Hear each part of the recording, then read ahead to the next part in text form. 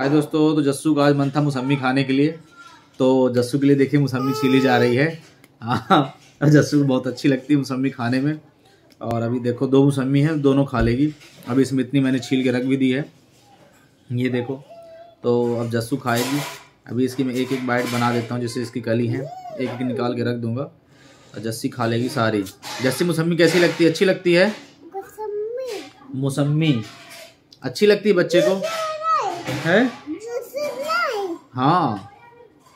और इसमें छिलके से जो रस निकलता है ना तो उसको बहुत अच्छा लगता है आँख में ऐसे। मारो तो उसको बहुत आनंद आता है। करें पापा? ये देखो, ये देखना भी है। ये तीखा है। बहुत अच्छा लगता है उसको। बोली अभी बोले कि पापा अपने आप, अपने भी करें। खाओ। अब खाओ। ये देखिए पूरी मौसमी है। एक्चुअली ये मैं मॉल से लेके आया था। अभी सत्तर अस्सी रुपए किलो चल रही हैं। और इनमें रस बढ़िया है, निकल के आता है। मौसमी का एक, लेने का एक ट्रिक होती है, जब भी आप मौसमी कहीं से, कभी से ले ले रहे हो, किसी शॉप से दुकान से तो मौसमी लेने से पहले ना, उसको हाथ में ले लो, जब भी आप उसको पन्नी में रखो, और उसका वेट देखो ऐसे ऐसे करके, और जो आपको वेट में ज़्यादा लगे, वही आप अपने पॉलीथीन में रखो। क्योंकि जिस, जो, जिसमें वेट ज़्यादा रहेगा, उसमें रहता है कि रस रहेगा। जो रस रहेगा, जब आप उसको छीलोगे तो आपके खाने के अच्छे काम आएगी, उसमें रस निकलेगा तो आपको खाने में आनंद आएगा। इसलिए रस वाली ही लेना चाहिए, जिसका वेट ज़्यादा हो। क्या आएगा? खून नहीं आएगा। ये सारी जस्सी खा लेगी, मुसम्मी, इतनी सारी। हम्म? और जस्सी के लिए देखो।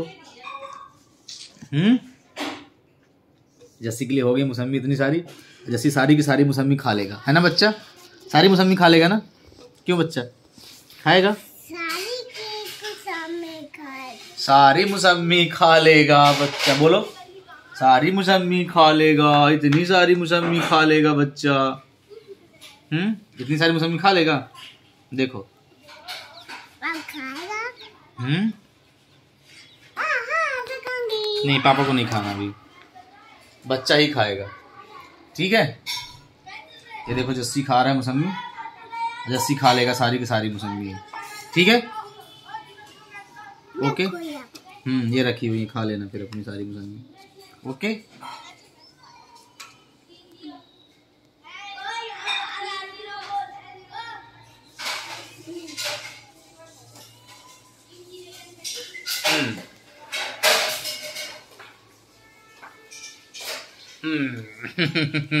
चलो ओके बाय बोल दो सबको। Bye bye bye